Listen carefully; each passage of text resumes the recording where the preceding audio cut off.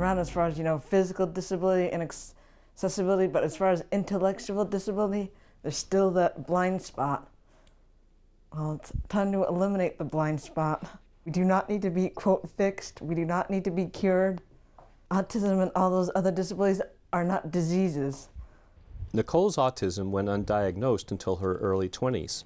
She faced ridicule, isolation, and limited opportunities.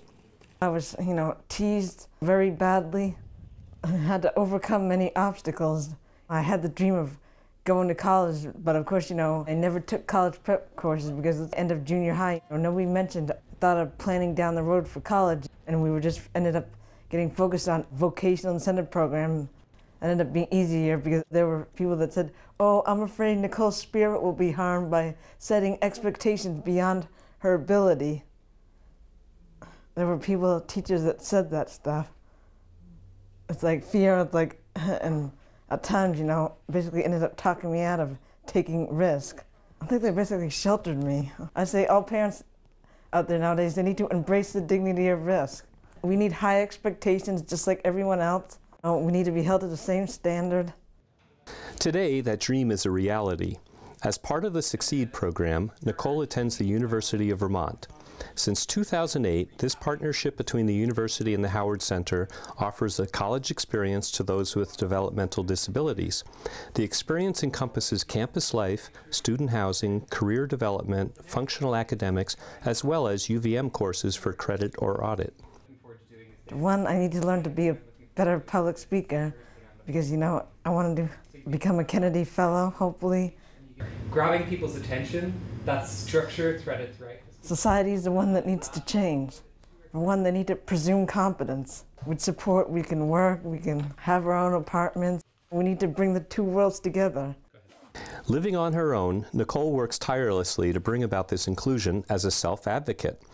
The self-advocacy movement, started in the late 1960s, was designed to give a voice to those with a disability and is considered one of the last civil rights movements. Green Mountain Self Advocates, started in 1994, includes over 600 individuals across Vermont. Nicole has been a GMSA advocate since 2007, in addition to mentoring peers and teaching workshops. Walking into the self advocacy movement was, you know, the best thing that ever happened.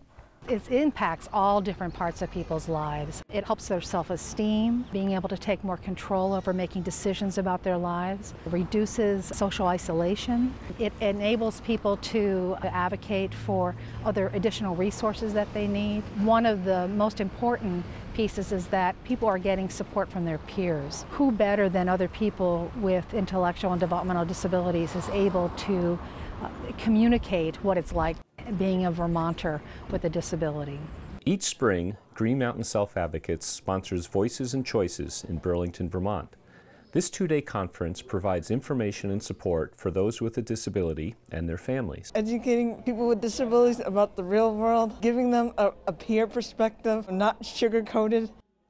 In her workshop, Nicole shared her personal experience with debt. See, when I was in my 20s, you know, I went to Job Corps. You know, it's not a nice environment to go to if you have a disability. I ended up going on a spending spree like crazy as a way to cope with it, just to get off campus. Money management can be challenging. It's not always easy. You save a little, you spend. Not only are there more challenges and fewer opportunities for those with a disability, but historically, these individuals are four to ten times more likely to suffer abuse. Nicole educates state legislators about these and other issues. Domestic and sexual violence grant, which we developed a guide on recognizing and responding to abuse, and an accessibility guide for making meetings cognitively accessible. Recognizing her uh, extensive skills at being able to research, analyze the information that's, that's out there about different legislative issues that affect people with intellectual disabilities, and then being able to just have a positive relationship with legislators. The other key role that Nicole plays is being able to take the very complicated information that happens here at the State House and translate that information to not only myself, because I really rely on her to be able to keep me updated as to what's going on, but also be able to teach her peers kind of break down the information so that people understand how the decisions that are made here at the State House affect their lives on a day-to-day basis. This year, one of GMSA's main objectives was to get the Respectful Language Bill passed by the Vermont legislature. People use disrespectful and derogatory language. In particular, there's the word mental retardation, uh, the R word is what we call it, uh, that's used to harass and to describe people with intellectual and disabilities. Oh, it's not as much offensive unless they're, oh, saying it directly at the person. My brother will, oh, say the R word at the computer. And it's like, hello. It's like, you know, it's just as offensive, you know, even if you're not directly saying it to the person's face. It makes me want to uh, run and hide, curl up into a ball.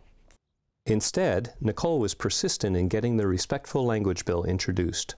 Having the Green Mountain Self Advocates, Nicole and, and others, get to be known faces in the State House is very important. Hey, Nicole, how are you? Good. People recognize them the way they recognize lobbyists for other issues. They develop credibility that way. Yeah, so how did it go? Well, it was Yesterday. very well received in our community. And on May 11, 2011, the Respectful Language Bill was signed into law by Governor Shumlin. Nicole is able to reflect on how her presence is changing attitudes here at the legislature and with other political policymakers throughout the state.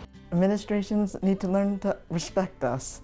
And we all deserve equal rights just like everyone else. We don't deserve to be segregated. Attitudes of the real disability. Disability rights is my life. It's fun, it's empowering. It'll take the jaws of life to get me out of it.